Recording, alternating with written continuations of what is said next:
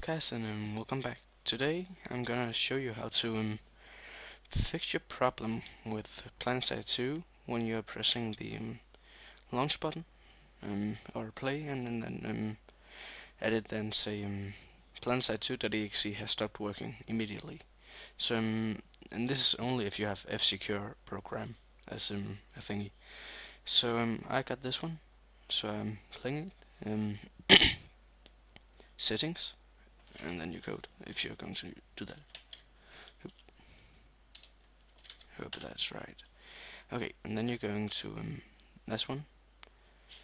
I don't know what it's called, but yeah, I'll write a link where I got it from.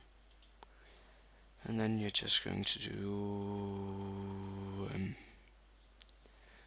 where was it? Users, public. Sony Online Entertainment, install game, click this, OK. Then do like this. Just, I will not be talking this much because I got a lot to remember here. And you just do it same again, just by doing only this one. And then if you have Steam, just to be sure, you're going to Program Files, Steam. Where is it?